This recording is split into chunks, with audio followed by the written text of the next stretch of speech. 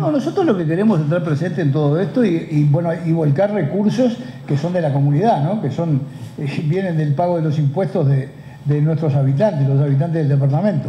Y, este, y lo que habíamos pensado es que hiciéramos espectáculos gratuitos, porque eso ayuda. La Plaza de Toros tiene una capacidad limitada. Este, son 4.000 personas o 4.500 personas y van parados.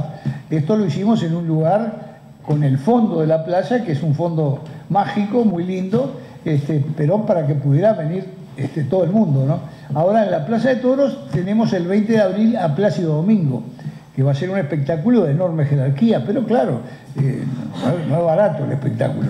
Yo acabo de hablar con el secretario del presidente de la República para invitar al presidente a que se pueda hacer presente como él estuvo presente incluso en, el acto inaugural de la Plaza de Toros, este, que pueda estar presente en el espectáculo de Plácido Domingo, que creo que la venta de entradas viene muy bien, según me han dicho. ¿Eh? No hay más. más, más que bien, entonces.